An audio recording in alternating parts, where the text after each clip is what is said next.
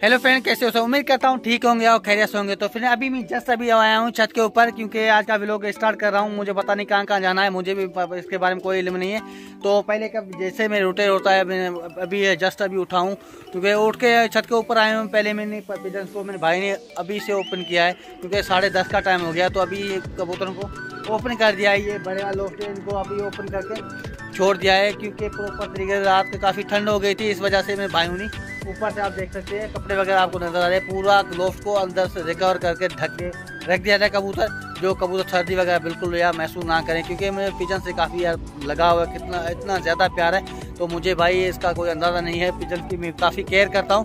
तो अभी मैं पिजन को दाना के देते हैं, पानी वगैरह पिलाती है।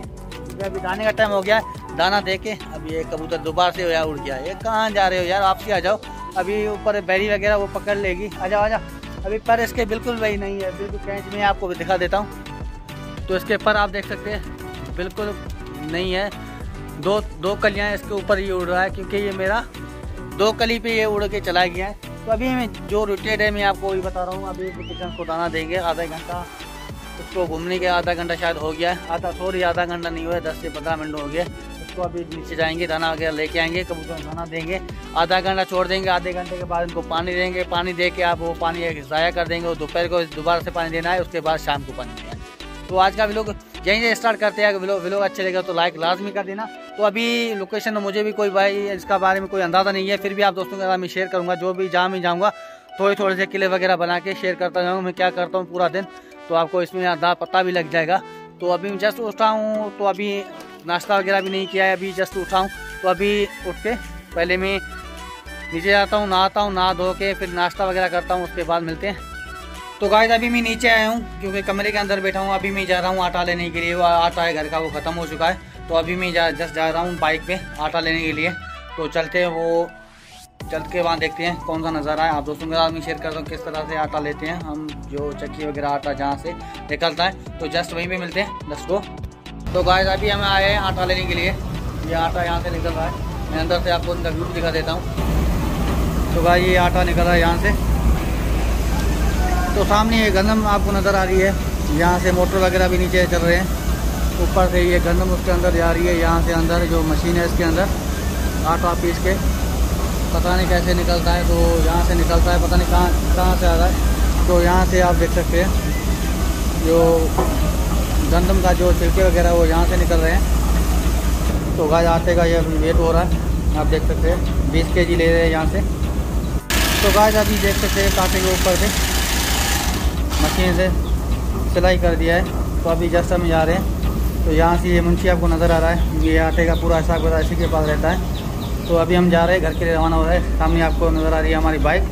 तो लस को अभी निकलते हैं। घर अभी मैं बाइक पे जा रहे हैं, घर के लिए आटा वगैरह ले लिया तो मिलते हैं घर पे। आज फाइनली मैं घर पे आ चुका हूँ, आटा वगैरह मैंने पूरा ले लिया है, क्योंकि अभी घर के लिए सुबह मैंने रोटी वगैरह मांगी, नाश्ता वगैरह मांगा तो घर वालों ने मना कर दिया। बोला, घर के कल जो आटा हमने कहा था, वो अभी तक नहीं आया तो जस्ट मैं जल्दी गया था। आपने देखा, वैसे ही देखा तो मैं वहाँ वहाँ से आटा वगैरह भी लेके आया हूँ, जस्ट अभी घर के लिए दे दिया है। अभी आधे घंटे के बाद नाश्ता वगैरह मिलेगा।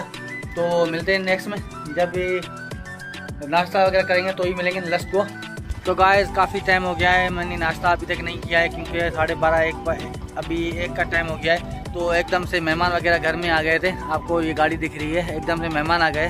तो काफ़ी मेहमानों में इधर उधर घूमता रहा। अभी शहर के लिए थोड़ा सा सामान वगैरह मेहमानों के लिए लेके आना है। तो अभी जस्ट में आ रहा हूँ शहर के लिए।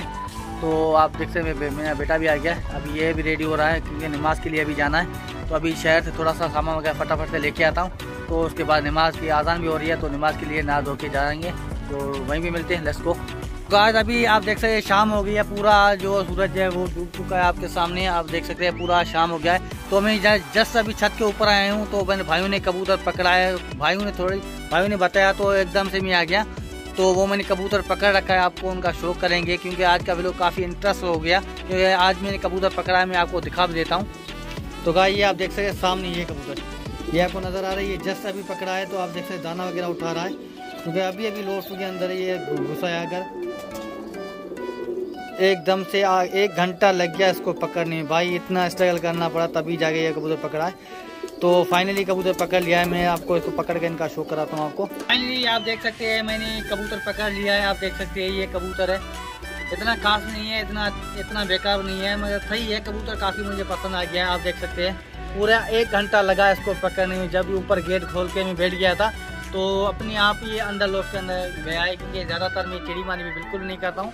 अपने आप जो आ जाता है उसको पकड़ के रख देता हूँ जिसके किसी भाई का होता है तो मैं उसको वापसी कर देता हूँ। तो ये कबूतर मैंने पकड़ा है आज के लोग में।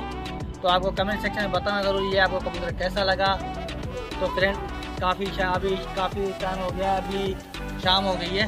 तो आज के व्लॉग को यहीं पर एंड करते हैं। आज का व्लॉग आपको अच्छा लगा तो लाइक कर ही सकते हो। तो मिलते हैं किसी नेक्स्ट व्लॉग में, तब तक के लिए। Bye.